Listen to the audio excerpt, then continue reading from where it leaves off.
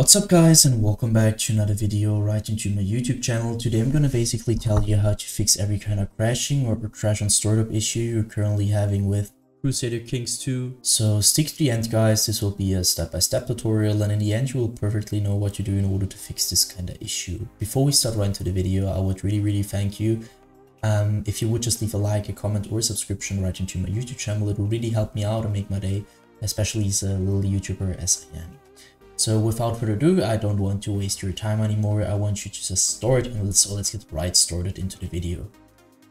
So the first thing I would recommend doing for everybody if you have this kind of issue is gonna be to take your um, launcher shortcut. For me is uh, Steam. You could also have like um, Origin or EA or Epic Games. Sometimes uh, games are on multiple launchers. So take the launcher where you downloaded it you're gonna right click it. So right click for your mouse and this tab will pop up. I want you to click on to run as an administrator. You're gonna hit that. What will happen is really simple. It will pop up your launcher. And once your launcher pops up, I want you to store your game over the launcher. So in the launcher and try to fix it by doing that. If it this doesn't work, you're gonna close your launcher again. You know, take uh, your launcher, you're gonna right click it. You're gonna go to the very bottom where it says properties. Once you hit properties, this tab will pop up you're gonna stick onto shortcut, but afterwards go to the right side where it says compatibility. And now as you can see, I have some um, settings and I want you to simply copy it. So let's quickly run through it. Compatibility mode, so you're gonna enable that.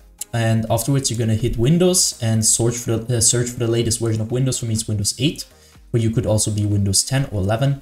Uh, afterwards go down, disable reduce color mode disable run in run in 640 by 480 screen resolution, disable disable full screen optimizations, enable run this program as administrator, that's really important, and afterwards disable register this program for restart. For me, I've done it so I can't hit apply. For you, you're gonna hit apply and hit OK. And uh, what's that gonna do is by default, you're gonna start, uh, or your PC is gonna start your launcher as an administrator in every game related to it. And so this this little sign here will pop up when you restart your PC. And uh, if this doesn't work, you're gonna hit, you're gonna take your uh, game shortcut and do the same thing. So with the properties and uh, run it as an administrator thing, and afterwards restart your PC, and this will probably fix it. So the next step, if this doesn't work, is gonna be to navigate to the very bottom where it says, like, you're gonna hit your taskbar, you're gonna right click, you're gonna hit taskbar or task manager. This will pop up and I want you to maximize it so we can see it better. Uh, navigate to the top left corner and just check if you're on processes. If you're on processes, there's some things to do right now. You can, as you can see, there's GPU and CPU usage. And um, if there is a high CPU, GPU usage at the moment, that, that could mean that something is taking too much power or too much uh, performance from your PC. So what I want you to do is going to be to go to apps and background processes, which are not related to your um, driver, so Windows or something like that. Just uh, like, I don't know, for an app which is running in the background. And you're going to hit right click. And uh, basically, you're going to hit on end task and do this with every single uh, application or background process which is taking too much GPU or CPU power. Um, next thing I want you to do is going to be to navigate to the top left corner again. You're going to hit onto details and now you need your game running for that, but uh, I'm not running it right now, so that just doesn't really matter. Just do the same thing to your game, which I'm gonna do to the Adobe Premiere Pro. So you're gonna right click it. Uh, once this tab pops up, I want you to click into set priority. And now you need to hover over it. And as you can see, there's some settings which uh, normally are normal, obviously. And I want you to click onto high or real time. You need to check it for yourself, but because on some PCs it will work with real time, some PCs will work with high what's this to do is just running all your uh, performance or some of your performance um, priority wise to your game, which uh, will uh, reduce your crash and startup probability. So um, afterwards, um, I want you to click onto startup. So again, left top left corner, click on startup. Uh, afterwards, you need to disable every single process, every single app, which is um, onto auto storage, which you're not using, which is running all the time in the background. So for example, I don't know, if you uh, don't want to uh, have Razer Synapse, for example, you're gonna right click it and click on the disable. And I want you to do this with every single process or program which you don't want to run in the background. Once you finish with that, I want you to end this task Next thing is going to be to go to the bottom left corner of your screen where you're going to click onto Windows, uh, the Windows symbol, or just simply click onto your Windows key on your PC. You're going to hit Settings.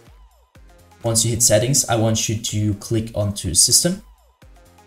And now, as you can see, we stick to display. I want you to identify your main monitor. So if you have two monitors, it doesn't really matter. Uh, if you have two monitors, it matters. You need to identify it. If you have one monitor, it doesn't really matter because there's only one.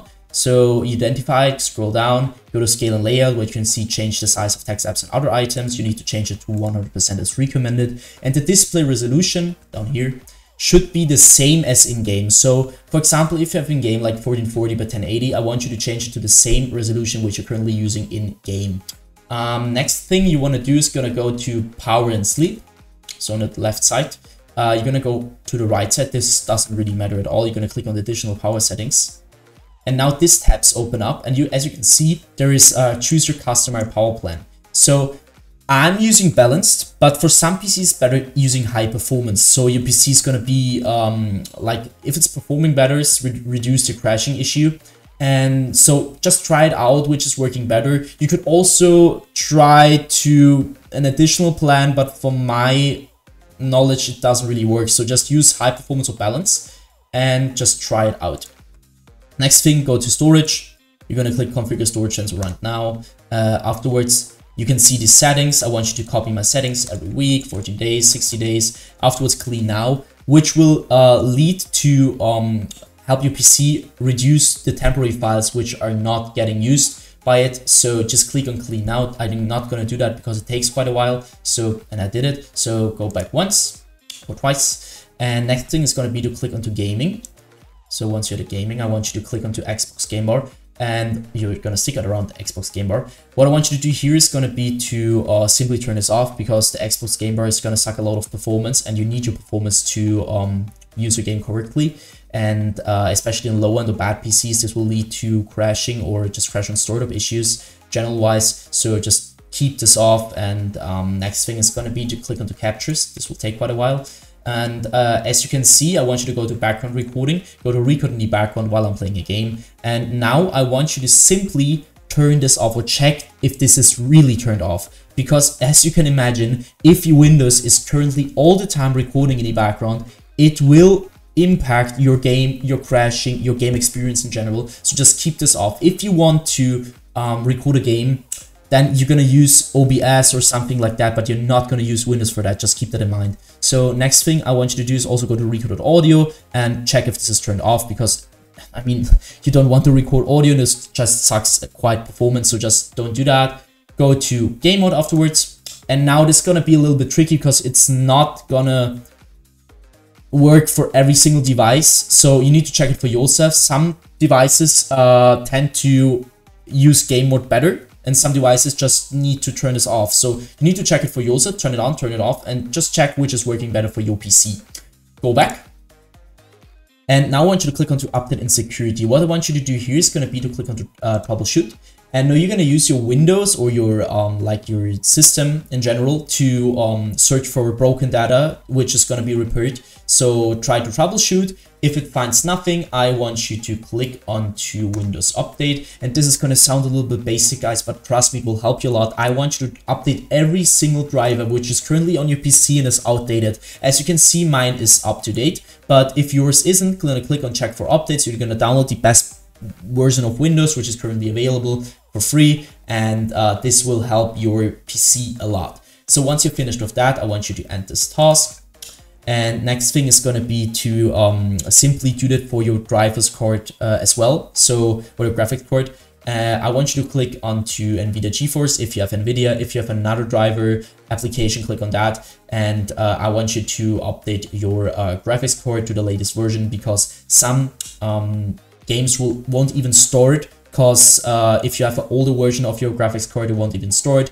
And you need the latest one to perform at the best. Um, that should be it for the video. I hope I could really help you out with this one, guys. If it was like that, just leave a like, a comment, or a subscription right into my channel. It would really help me out and make my day in general. So if you have any issue, if you have any questions, just feel free to put it in the commentary section. I will read all of them and try to answer them. And um, just check out all of my other videos because I made a ton of videos on every single game where you can uh, you're gonna check um, if you have any problems. So just check for them. And if not, just have a wonderful day. See you at the next one and bye.